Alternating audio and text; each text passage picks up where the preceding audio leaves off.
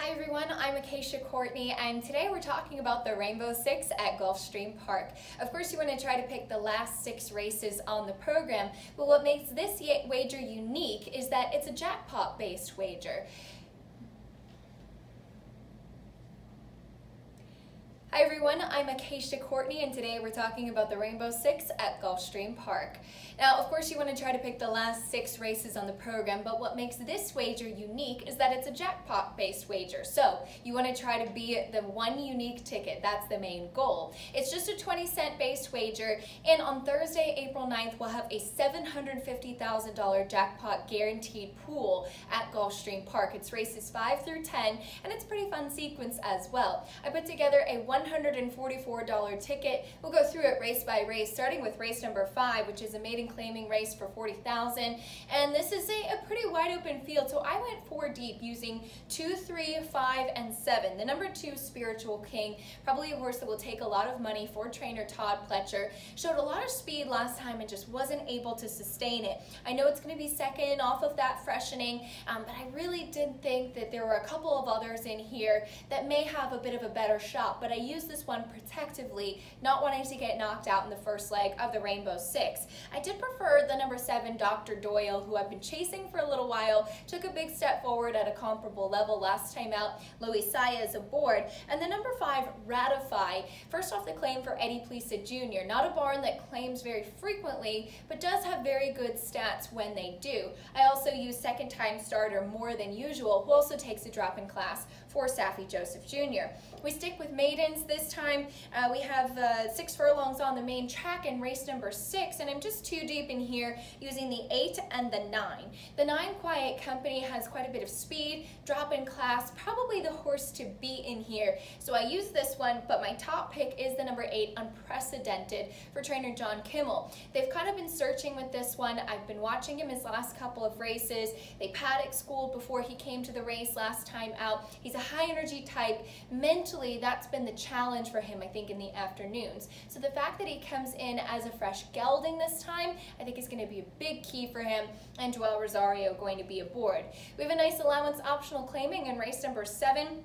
I'm using one, four, and six. The number one flash pass, I've really liked switching to the turf, has the pedigree to back it up, and I thought took a big step forward last time out. Unfortunately, he wasn't able to beat another one in this field, and that's the number four, Dominate the Moment, who I'm also going to use. We'll see if he can keep that good momentum going, but I really did feel like Flash Pass was moving in the right direction. I'll also back myself up with King of Ranch, who comes out of that same race, has taken a lot of money, but it's Mike Maker on the turf, and I felt uncomfortable leaving him out of this se sequence.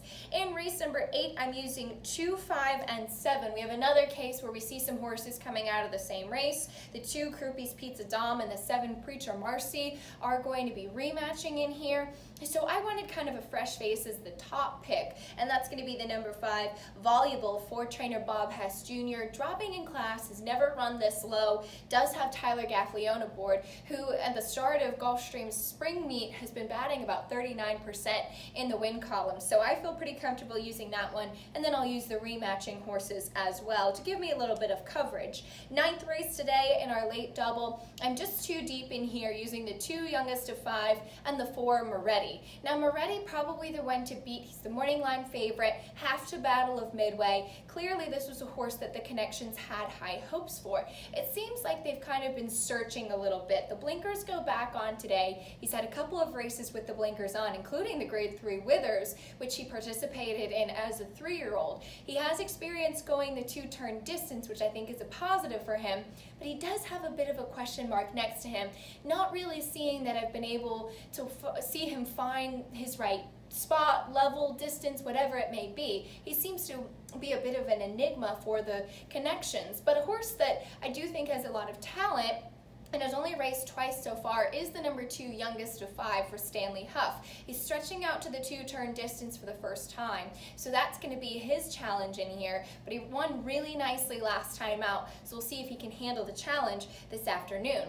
We wrap things up in race number 10 with the fillies in a maiden special weight on the turf, and this is a tough race, so I used five horses in here, wanting a bit of coverage, just not wanting to get kicked out if I make it to the last leg. I'm using three 3, 5, 6, 8, and 11 to wrap things up. Uh, the number 8, Act Like Artie, she's the top pick in here, had a troubled trip last time out, and did end up taking a step forward in her second career start. I think the 6, No More Stories, is very intriguing. Blinkers going on, second off the layoff for trainer Brian Lynch, who has some really good numbers with this kind of move as well. The 3, Passion Factor, trying the turf for the first time, and I thought physically needed that race last time out. You've got the 11 Valletta, who ran a really good race last time out for trainer Bill Mott, and I went five deep in here because while I don't necessarily like the five Mighty Road in here, uh, not a ton of turf pedigree and just not really uh, blown over by this one in this very competitive spot,